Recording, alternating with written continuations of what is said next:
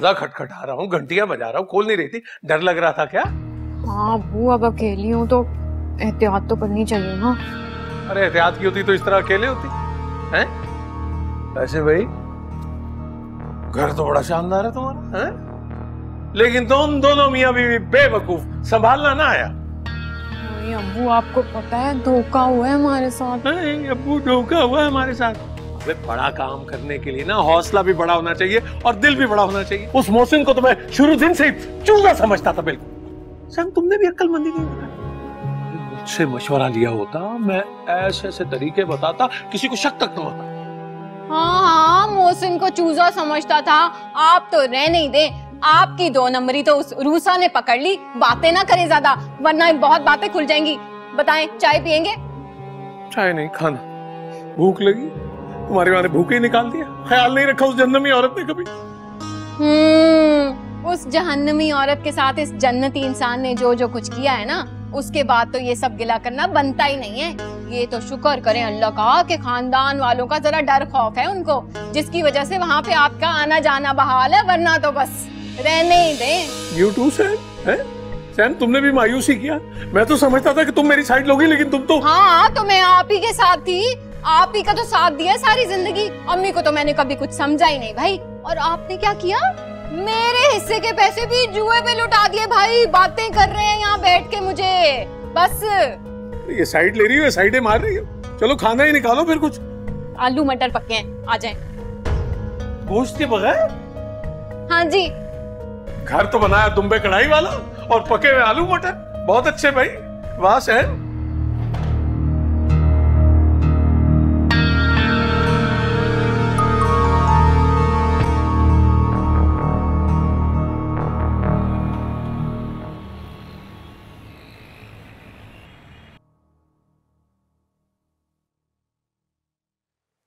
अरे बिल्लू?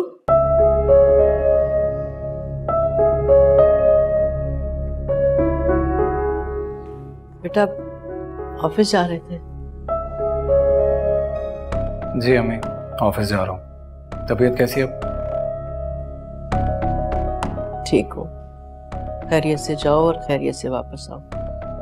अल्लाह के अब सामान में। ठीक वो बिल्लू मोहसिन का क्या बना बेटा? कब आएगा मेरा बच्चा? और वो लोग क्या कहते हैं? कुछ तो कहा होगा। अम्मी भाई ने कितनी रिश्वत ली है ये तो कोई नहीं जानता। लेकिन उनके ऑफ़िस वाले कहते हैं कि कम से कम सत्तर से अस्सी लाख रुपए का जुर्माना होगा उनको। क्या? सत्तर अस्सी लाख? अरे कहाँ से देगा मेरा बच्चा इतने पैसे? वो तो नहीं दे पाएगा बेटा। आपको पता? भाई का जो नया मकान है वो कितना महँगा है? अरे बिल्लू वो मकान तो जो हमारा खानदानी घर बिका था ना उसके हिस्से से खरीदा उसने। नहीं अम्मी उस हिस्से से तीन गुना ज़्यादा महँगा है वो मकान। फिर अब क्या होगा? अब भाभी को वो मकान बेचना पड़ेगा। एक वक्त ना इज़्ज़त रही। जिल्लत अलग कमाई दुनिया में। उसने जरा बराबर भी नहीं सोचा कि ना तो यहाँ पना मिलेगी और ना ही आखरत में। ये सब कुछ ना उसने बीवी के कहने में आकर किया। मासूम था मेरा बच्चा। अब उसे देखो, खुद तो यहाँ पे ऐश कर रही है और खुद वहाँ पे पड़ा जेल में जूते खा रहा है। भाभी के लालच और हवस ने सब बर्बाद कर दिया। और इसकी सजा मोहसिन भाई को भी मिल रही है। लेकिन कहीं ना कहीं हम भी कसूरवार हैं। हम सब अपनी आँखों के सामने सब कुछ होता हुआ देख रहे थे। लेकिन किसी ने रोका नहीं मोहसिन भाई को। बस मजम्मत करने का तरीका बदल लिया हम मोहसिन भाई के साथ साथ हम लोगों की भी तो बदनामी हो रही है।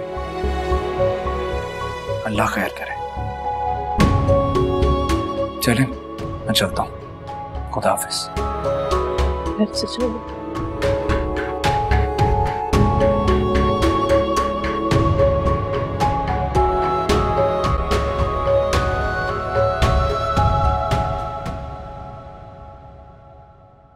अरे अभी नहीं तो कब?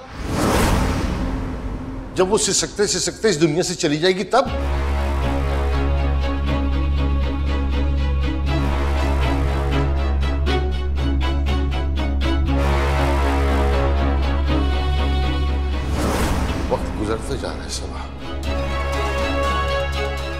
ऐसा ना हो कि बाद में पछतावा किससे और कुछ ना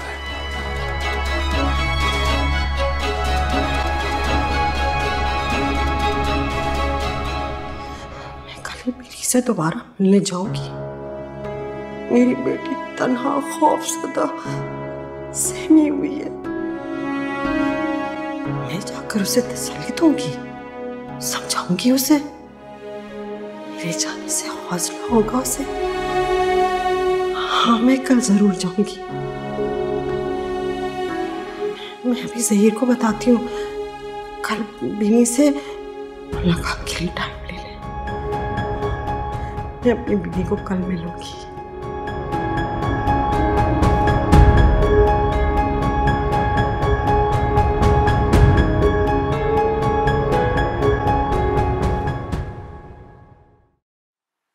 आप ही यूँ परेशान बैठने से क्या होगा? और तुम इस मकान में मोहसिन भाई के बगैर कैसे रहोगी अकेले? रूसा ये भी तो सोचो ना। मैं मोहसिन के साथ इस घर के बगैर कहाँ रहूँगी? अल्लाह मोहसिन भाई को ज़िंदगी दे। वो तुम्हें ऐसे बीस मकान बनवा देंगे। अगर वो जेल से रिहा हो गए तो। वरना वरना? वरना क्या? आप ही तुम्हें हर कीमत पे पचास लाख रुपए देने होंगे। तुम्हारे पास इतने पैसे हैं क्या?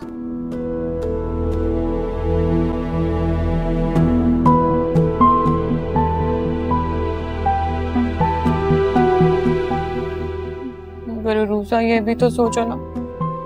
मैं इस घर को छोड़ के कहाँ पे जाके रहूँगी? कौन रखेगा मुझे? मेरा तो अपना भाई मुझे अपने साथ रखने का रवादार नहीं है। और जोया वो तो मेरी शक्ल भी देखना नहीं चाहती। तुमने जो कुछ उसके साथ किया उसके बाद कोई भी औरत तुम्हारी शक्ल दिखना नहीं चाहेगी। खैर जाने दो इस बात को। मैं ये कह रहा था कि हमारा मसला जो है ना वो पैसे की कमी है। ये है असल मसला। मगर बंदों को उसका हिस्सा मिल जाता तो नतीजा मुख्तलिफ़ होता। मेरी बात सुनो आप ही। इस बड़ी रकम का बंदोबस्त तुम्हें ही करना होगा। वरना ये घर भी जाएगा और घर वाला भी। अभी भी वक्त है। तुरंत फैसला कर लो। सारी ज़िंदगी तुमने गलत फैसले ही किए हैं। सोच लो क्या करना है। अब्बू आप क्या कहते हैं? क्या करना चाहिए मुझे? है? भाई, मेरा ये ख्याल है कि इतना बड़ा और शानदार घर तो तुम्हें मिलेगा नहीं। तो वो अपने मियाँ के माँ और वो भाई से कहो कि वो कुछ करें। तुम जमीर हो यहाँ? नहीं।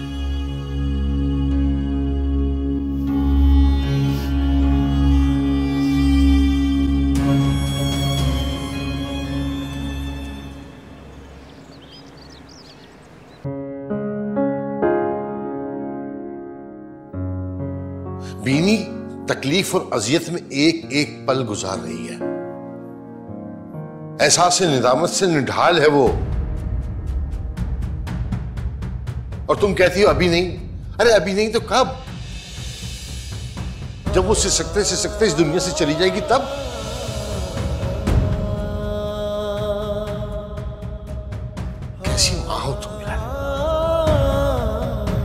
अरे जब तड़प तड़प के सच बोल रही थी, वो तो तुमने उसकी बात पर यकीन नहीं किया। पर पहले वो झूठ बोलती थी तो तुम यकीन कर लिया करती थी।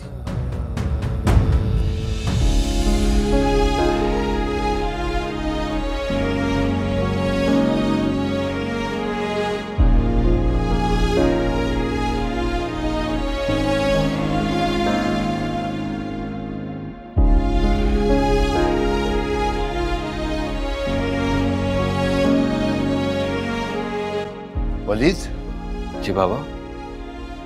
क्या हुआ परेशान लग रहे हैं? सब खैरियत है? वो दरअसल इंस्पेक्टर का फ़ोन आया थाने से। बीनी ने मुलाकात का वक्त दिया तुम्हें उरूसा के साथ। तुम उसे लेकर वहाँ पहुंचो मैं भी आ जाऊँगा। बाबा रूसा के साथ? आपको लगता है कि रूसा मेरे साथ जाने के लिए राज़ी हो जाएगी? हाँ जाएगी बेटा बस तुम ये बात अपनी माँ को मत बताना। वरना तुम्हें वो मिलने नहीं देगी बीनी से। मैं चाहता हूँ कि बीनी रूसर से मिलकर अपने दिल का बोझ हल्का कर ले। जा बेटा जल्दी। ओके? शहजाद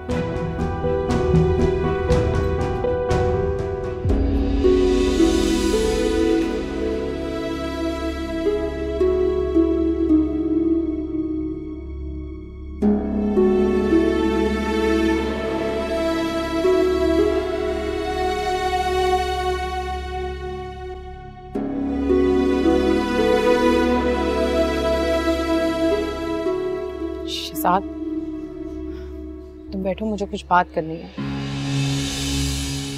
जल्दी बोले मुझे लीलो के साथ जाना है कहीं शहजाद साइमा का घर नीलाम हो रहा है। अगर वो यहाँ आ जाए यहाँ तो... नहीं आ सकती।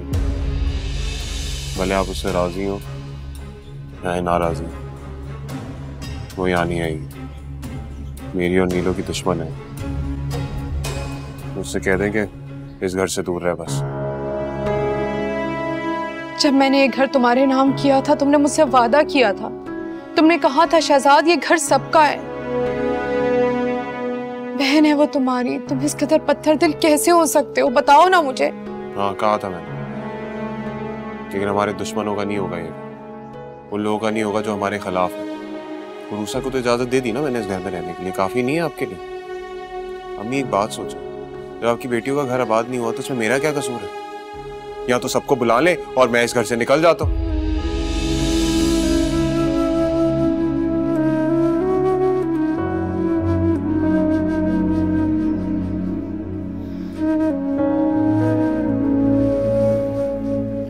सब ठीक हो जाएगा हाँ? परेशान नहीं होना। वालेकुम पप्पा वालेकुम अस्सलाम वलीद बेटा।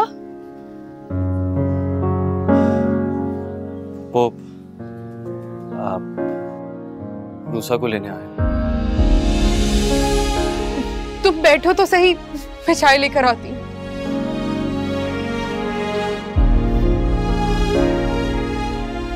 रूसा?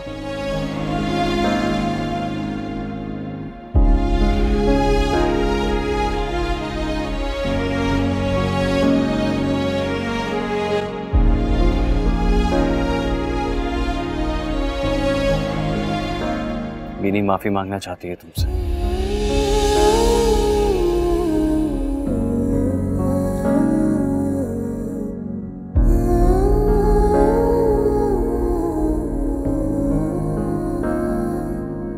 बुरे वक्त में ना, चिंटी भी अपने बिल में कुछ ना कुछ दाने जमा करके रखती है। और तुमने क्या किया? अपने शोहर के लाखों रुपए अपने हाथों से लुटा दिए। और अब खाली हाथ बैठी सच कहा है किसी ने। ये जो हराम की कमाई होती है ना ये जैसे आती है ना वैसे ही चली जाती है। अम्मा जी इस वक्त मुझे आपकी मदद की बहुत ज़रूरत है। प्लीज़ आप मेरी मदद करें मकान बिक जाएगा तो मैं कहाँ जाऊँगी? अब सोच रही हूँ। पहले तुम्हें ख्याल नहीं आया? अरे किसी से तुमने बना के नहीं रखी। किसी एक से तो अच्छे ताल्लुकात बनाने थे। कि मुसीबत में तुम्हारे काम आए कोई?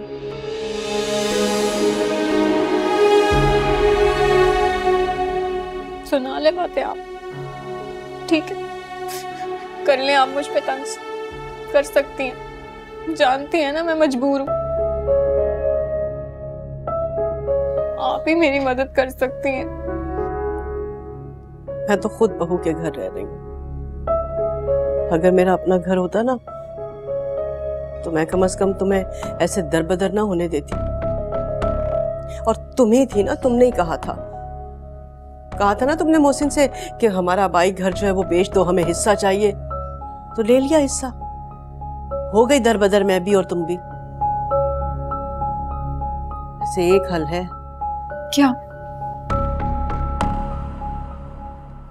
अगर जोया तुम्हें माफ़ कर दे तो। वैसे साइमा हरकत तो तुमने ऐसी की है कि मुझे नहीं लगता वो तुम्हें कभी माफ़ करेगी। लेकिन वो एक पढ़ी लिखी और सुलझी हुई लड़की है। शायद माफ़ कर दे।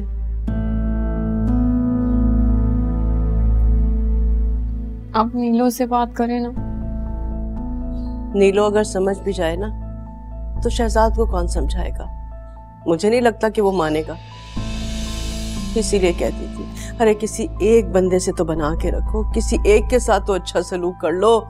लेकिन नहीं, तुमने मेरी एक नहीं मानी। अब कौन आएगा तुम्हारी मदद? अल्लाह करे, मुझे मौत आ जाए। मर जाऊँ मैं बस। मैं हुई बुरी। एक हफ़्ते बाद घर बिक जाएगा। मेरे पास तो कोई जगह ही नहीं रहेगी जहाँ पे मैं रहूँ। दारुल अमान चली जाऊँगी वहीं जाके रहना शुरू कर दूँगी। यही मेरी सजा है मैंने मैंने जो हरकत की है मेरे साथ ऐसा ही होना चाहिए। साइमा अरे बस बस, बस बेटा। मुझे माफ़ कर दे। मुझे प्लीज़ मुझे माफ़ कर दे।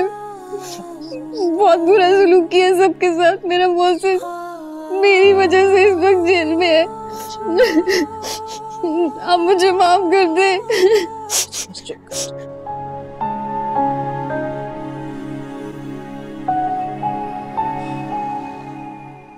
थैंक यू इसलिए तो मेरे साथ आने के लिए राज़ी हो गई इसीलिए। आपके साथ यहीं से मिलने के लिए जा रही हूँ।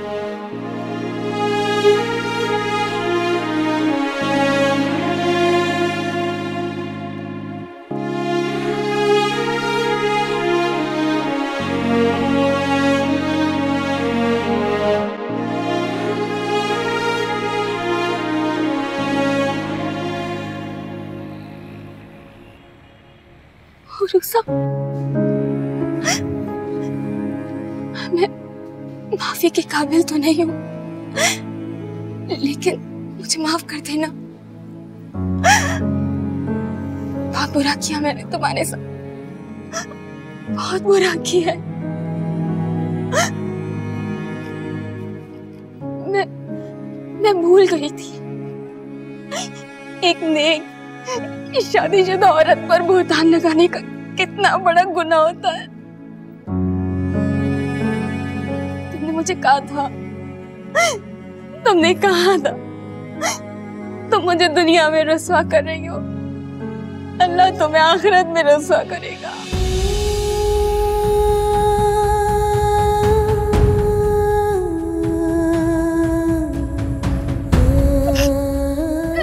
देखो, मेरा हाथ मुझे माफ़ कर दो। उरुसा गुनाहगार हूँ तुम्हारी। मैंने तुम्हारा घर बर्बाद किया। मैंने मैंने भाई के दिल में तुम्हारे लिए नफरत डाली थी। तुम पे चोरी का झूठा इल्ज़ाम मैंने लगाया था। रोजा तुम्हारी माफ़ी। मुझे आखिरत की रसोई से बचा ले। मैं कातिल हूँ। हमने गुनाहों की सजा भुगत रही हूँ। मैं, मैं, मैं चाहती हूँ। मुझे ना मुझे फांसी की सजा हो जाए। क्योंकि रोज रोज की जिल्लत आमेज मौत है ना। नाकाबिले बर्दाश्त है। रोजा मुझे माफ़ कर दो, रोजा। माफ़ कर दो। मैंने तुम्हें माफ़ किया भी नहीं। और दुआ करती हूँ कि ऊपर वाला भी तुम्हें माफ़ कर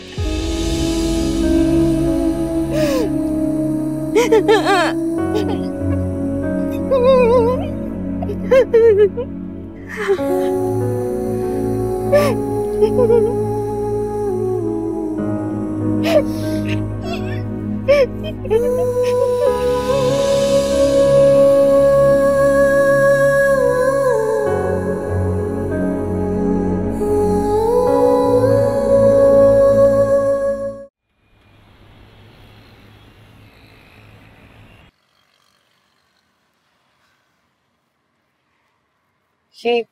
ये हम कहाँ जा रहे हैं वलीद घर? कौन से घर? अपने घर। मैंने पुप्पू को बता दिया था कि बीनी से मिलने के बाद हम घर जाएँगे। वलीद मैं नहीं जाऊँ। आप प्लीज़ मुझे अम्मी के घर ड्रॉप कर दें। मगर क्यों? जब तक मामी जान मुझे खुद देने के लिए नहीं आए मैं वापस नहीं आऊँ पता नहीं ऐसा कब होगा और ऐसा कब तक चलता रहेगा। खैर, तुम्हारी मर्ज़ी है, मैं क्या कर सकता हूँ? लेकिन मामा को मनाना इतना आसान नहीं है। काफ़ी वक्त लग जाएगा। जितना टाइम लगता है, लग जाए लेकिन मैं ऐसे खुद वापस नहीं जाऊँ जब तक मामी का दिल मुझसे साफ़ नहीं हो जाता और वो मुझे खुद लेने के लिए नहीं आती मैं इंतज़ार करूँगी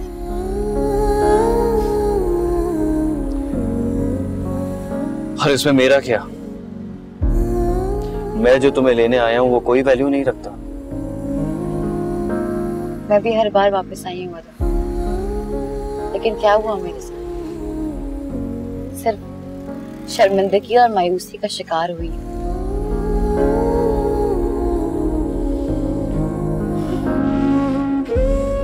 रिश्तों को बहाल करने के लिए कभी कभी हालात के आगे झुकना पड़ता है रूसा। इसीलिए वाली। मैं हर बार झुक मगर क्या हासिल हुआ? हमेशा ठुकराई गई। और तुम्हारी हर ठोकर के साथ गिरा मैं भी हूँ।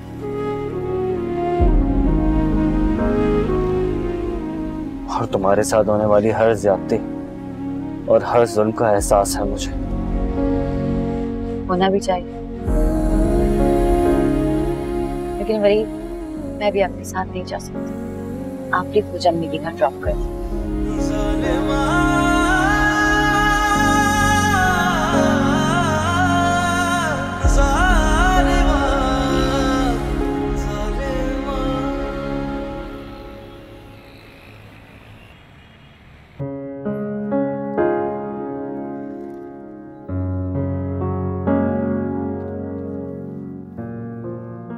नाराज़ है मुझसे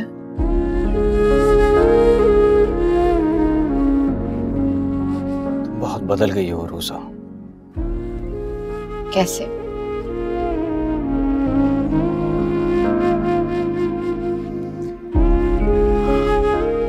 मुझे पूरा यकीन था कि तुम मेरे साथ घर चलोगी। यकीन टूटने की तकलीफ़ मुझसे बेहतर कौन समझ सकता है? मुझे अफसोस है कि मैं आपके यकीन को पूरा नहीं कर सकी। मगर एक दफ़ा खुद को मेरी जगह रखकर सोचे वाली, जो कुछ मेरे साथ हुआ या जो कुछ मेरे साथ किया गया उस सारे वक्त में आप कहाँ थे? क्या आप मेरे साथ थे? मुझे भी उम्मीद थी कि मेरे हर दुख, मेरे हर सुख में आप मेरे साथ खड़े होंगे। मेरा साथ देंगे, मगर मैं तुम्हारे साथ था रूसा मगर तुम देख नहीं सके।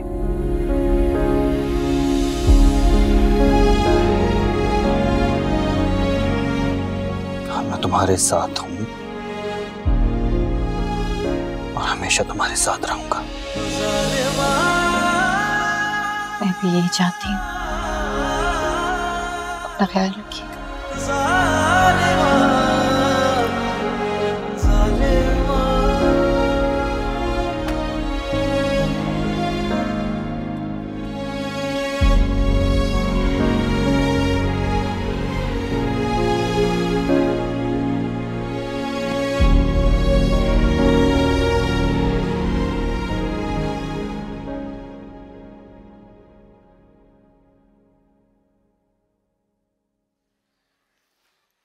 रूसा तुम वापस आ गई?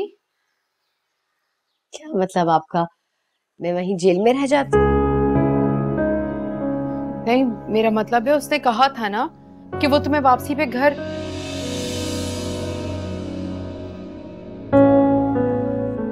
अम्मी वलीद मुझे जेल बीनी से मिलवाने ले गए थे। हाँ अपने साथ वापस घर लेके जाना चाहते थे। मगर मैंने इनकार कर दिया। क्यों इनकार किया तुमने? तुम्हें जाना चाहिए था वहाँ उरूसा। मैं जानती हूँ अम्मी कि मेरी वजह से आपको अपने बेटे और बहू के सामने सर झुकाना पड़ता है। लेकिन मेरी तकलीफ़ को भी समझे। मेरी भी इज़्ज़त नफ्स मजरू होती है।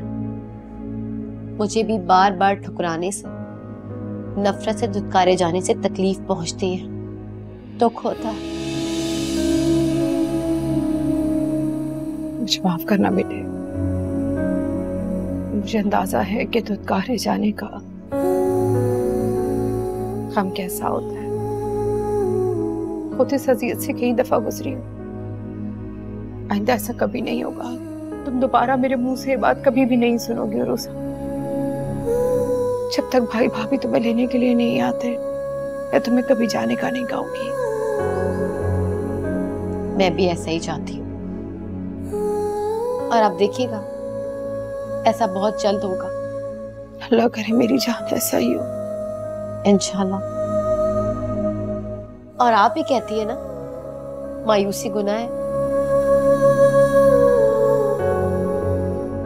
बस इसलिए मैंने मायूस होना छोड़ दिया है। बहुत बहादुर बेटी। अल्लाह बहुत हिम्मत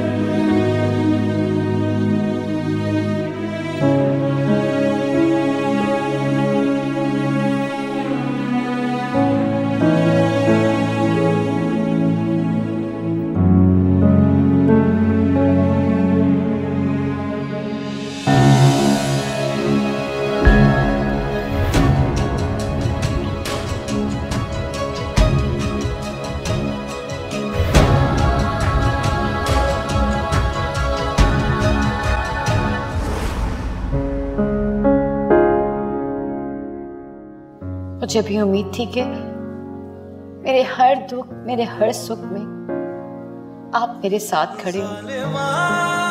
मेरा साथ देंगे मगर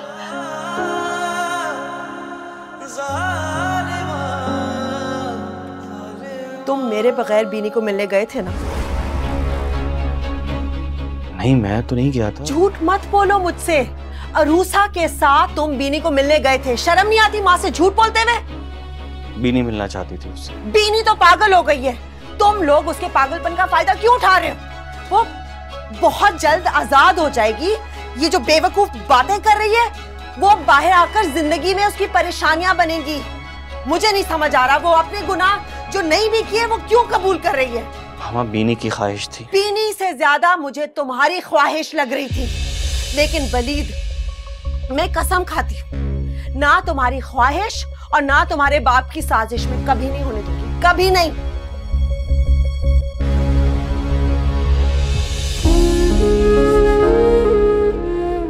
मामा को तो अंदाज़ा ही नहीं है कि बीनी किस अजियत और कर्ब में मुब्तला थी। अगर वो रूसा ना जाती तो वो शायद इस अजियत को बर्दाश्त भी नहीं कर सकती थी। मैंने तो उसकी ख्वाहिश पूरी करके अपना फ़र्ज़ निभा लिया है। या अल्लाह, मेरी मदद कर।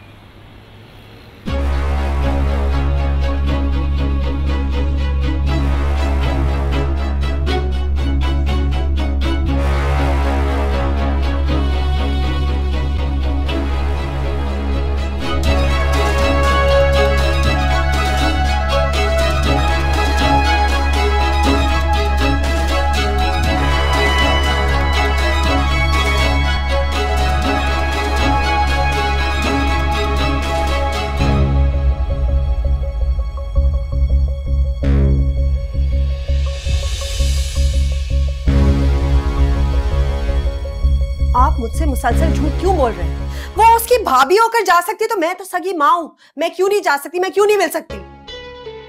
आराम से जरा तहमुल से समझो मेरी बात को। रूसा की मुलाकात बीनी की दरख्वास्त पे करवाई। अब अगली मुलाकात पंद्रह रोज के बाद होगी। केस कोर्ट में है।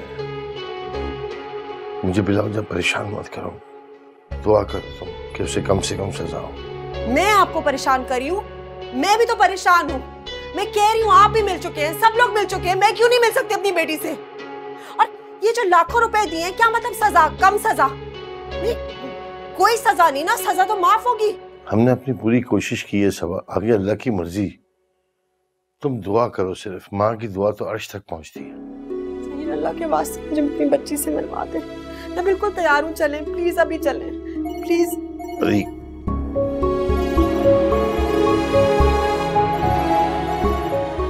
फ़ोन है। सही बात कर लीजिए हेलो बाहर में जाए बात मेरी बात सुनने जी बात कर रहा। हूँ। मुझे जेल जाना है मैंने बिनी से मिलना है। कितनी दफ़ा कहूँगी। क्या? क्या? क्या कह रहे हैं आप? क्या? ओ मेरे अल्लाह कैसे? कल कल तो मैं उसका भाई उस क्या? क्या? क्या? बीनी दुनिया में नहीं रही झूठ बोल रहे आप? मैं जा रहा हूँ मैंने कहा था मुझे मिलना है। मेरी मेरी ज़िंदा है मैंने कहा था मुझे मिलना है। मेरी बीवी नहीं मरी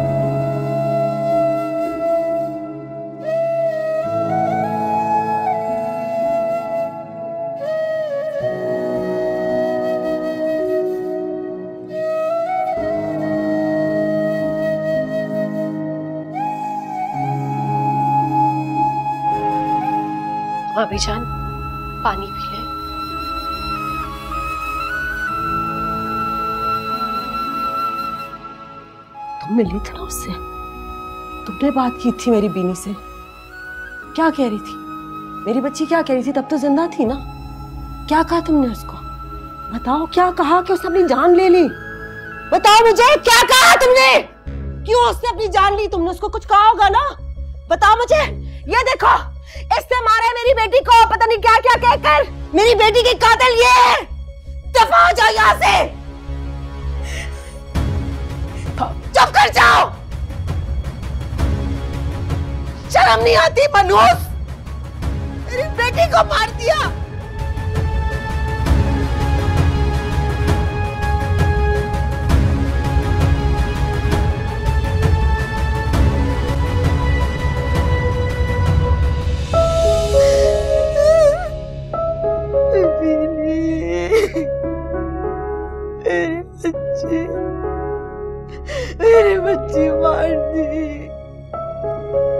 अगर वलीद भाई को ये मालूम हो जाए कि उरूसा उसके बच्चे की माँ बनने वाली है तो उस शख्स की तो सारी बुजदिली और हिचकिचाहट खत्म हो जाएगी।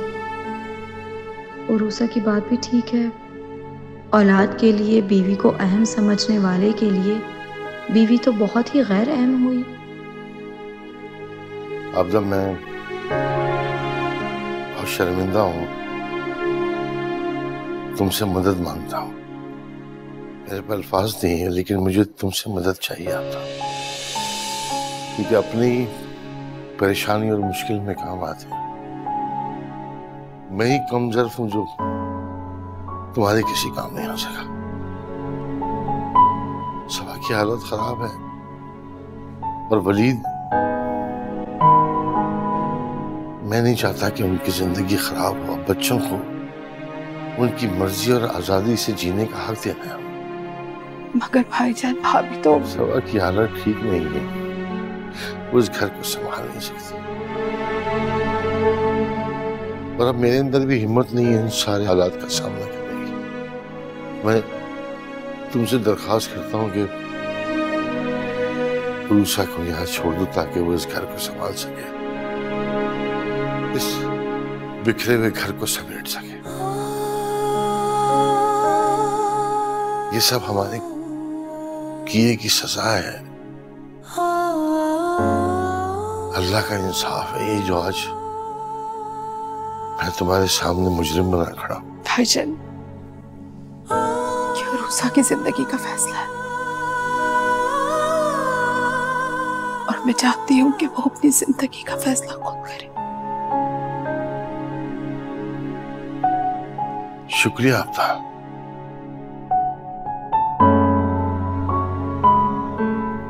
और उसा अब मैं घर चलती हूँ। वलीद भाई, मैं दोबारा ज़रूर आऊँगी। अल्लाह पाक आपको सब्र दे। अंकल, मुझे इजाज़त दीजिए। सोया मुझे ड्रॉप कर दो।